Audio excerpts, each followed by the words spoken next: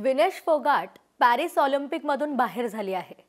आज संध्याकाळी तिची पन्नास किलो वजनी गटात सुवर्ण पदकासाठी अमेरिकेच्या सारा हिल ब्रँडशी स्पर्धा होणार होती.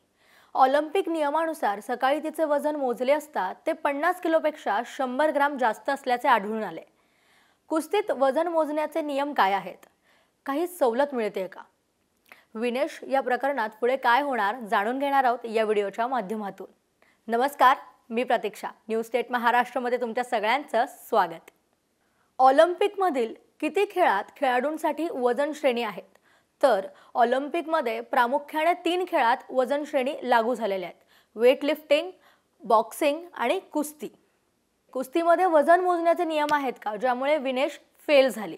तर कुस्तीमध्ये वजन मोजण्यासाठी एक संपूर्ण प्रक्रिया परिभाषित केलेली आहे. प्रत्येक वजन गटातील कुस्ती स्पर्धा ही दोन दिवस चालते. म्हणजेच कोणताही पैलवान अंतिम फेरीत किंवा रिपेजेसमध्ये पोहोचेल तर त्याला दोन दिवस त्याचे वजन मोजावे लागते.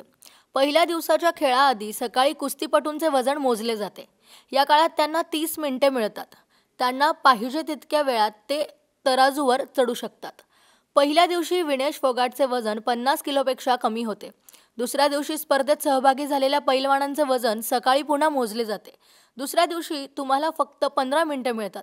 या काळात त्यांना पाहिजे तितक्या वेळा तराजूवर चढू शकतात. दुसऱ्या दिवशी विनेश फोगाटचे वजन पन्नास किलोपेक्षा शंभर ग्राम जास्त भरले. वजन करताना कुस्तीपटू फक्त सिंगलेट घालू शकतात म्हणजेच या ड्रेसमध्ये ते कुस्ती खेळतात. दरम्यान खेळाडूंमध्ये कोणत्याही संसर्गजन्य आजाराची लक्षणे आहेत की नाही हे देखील तपासले जाते. तसेच त्यांच्या नखांची तपासणी केली जाते. ते कट आणि लहान असावेत. युनायटेड वर्ल्ड रेसनिंग म्हणजेच यू डब्ल्यू डब्ल्यूचे अधिकारी वजन मोजतात. संपूर्ण प्रक्रियेचा व्हिडिओ रेकॉर्डिंग केला जातो आणि डेटा संगणकाद्वारे रेकॉर्ड केला जातो.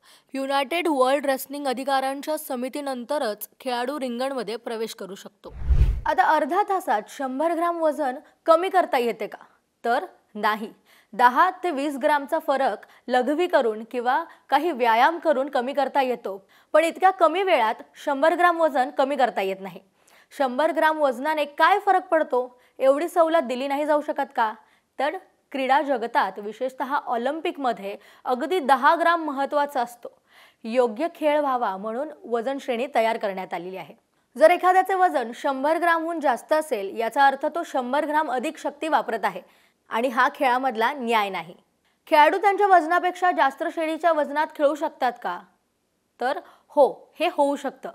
जर एखाद्या खेळाडूने त्याच्या निर्धारित वजन ओलांडले तर तो पुढील दोन श्रेणींमध्ये खेळू शकतो. यासाठी त्याला त्याच्या वैयक्तिक वजनापेक्षा एक ग्राम जास्त वजन दाखवावे लागते. परंतु विनेशच्या बाबतीत असे होणार नाही. ऑलिम्पिकमध्ये कोणता खेळाडू कोणत्या वजनी गटात खेळणार हे आधीच ठरलेलं असतं. म्हणजे विनेश फोगाट जास्त वजनामुळे अपात्र ठरल्यास ती पन्नास किलोऐवजी त्रेपन्न किलो गटात कुस्ती खेळू शकत नाही. आणि अत्यंत महत्त्वाचा प्रश्न हा आहे की विनेश फोगाटला पुन्हा खेळण्याची संधी मिळेल का? तर नाही. ऑलिम्पिक नियमानुसार एखादा अपात्र ठरल्यानंतर त्या खेळाडूला दुसरी संधी मिळू शकत नाही. त्यामुळे विनेश फोगाटला पॅरिस ऑलिम्पिकमध्ये खेळता येणार नाही आणि तिला रिकाम्या हाताने पुन्हा जावे लागेल. माहिती कशी वाटली? कमेंट बॉक्समध्ये नक्की कळवा. आणि माहिती आवडल्यास व्हिडिओला लाईक चॅनलला सबस्क्राईब आणि बेल आयकॉनला क्लिक करायला विसरू नका.